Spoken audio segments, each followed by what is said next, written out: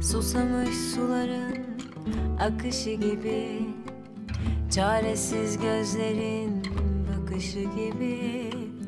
Kapının ansızın çalışı gibi Akrebin ateşte yanışı gibi Vazgeçip uzaktan senin yanında Kendime cevapsız soru sormuşum Kaybolup fırtınalarda Gönlümce bir ıssız ada bulmuşum Fark etmeden, fark etmeden, fark etmeden Senin olmuşum